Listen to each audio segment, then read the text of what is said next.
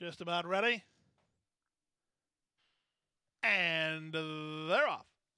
Carrick was away quickly and up to take the early advantage. Here's Roadhouse Blues, the big favorite, put into play early. Roadhouse Blues working to a half a length lead. Carrick is second, Dancing Empress at the rail third, followed by Okalani and Amakoko Pebbles.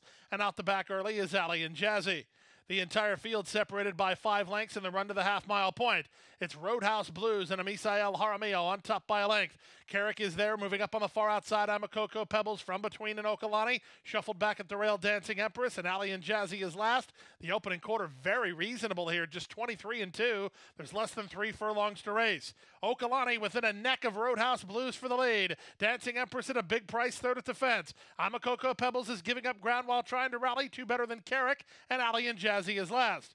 There's a quarter of a mile left to go, and now Jaramillo starting to ask Roadhouse Blues some serious questions. She's giving them all the right answers as they turn for home, cuts the corner and leads by three.